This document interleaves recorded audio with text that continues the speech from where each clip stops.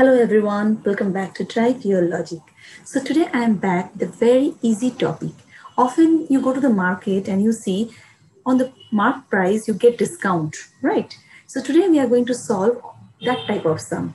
Suppose, for example, I'm giving you 150 rupees. The cost of any item is 150 rupees and the shopkeeper is telling you that you will get 50% discount how to get the answer? So you need to find 50% of 150, then you need to subtract from 150, long process, right? But today I'm going to tell you a very easy way of doing it. And what is that? You get the answer 75 directly. So how you're getting this one, 75? Think what you will do minus 50%, right? That means what is left out of 100% because always we know that percentage means 100 right? So if it is subtracting minus 50% that means 50% is gain. So what you do? You do 50 percentage of 150 not this 50 the rest. That means minus 50% and i am adding 100% to it. Yeah so what is left here plus 50% is leaving. So that means that is the gain. So 50% of this one. And in one of my video, I have told you all the shortcut process. When there is two zero, discard that and you multiply this two. So your answer is 75.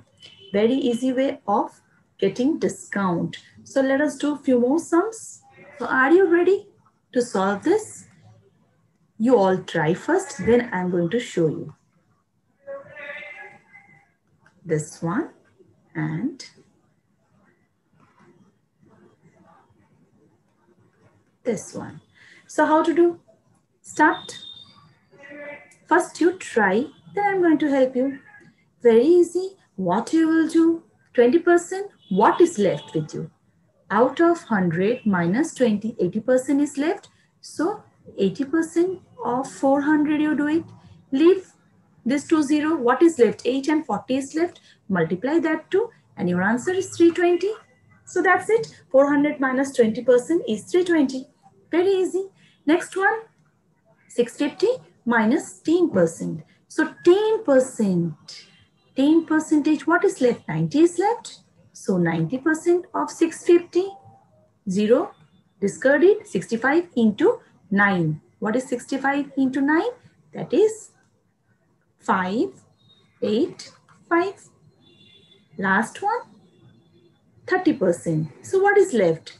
70% is left. 70% of 650, you do it, 0, 0, discard it, 7 into 65. And your answer is 455.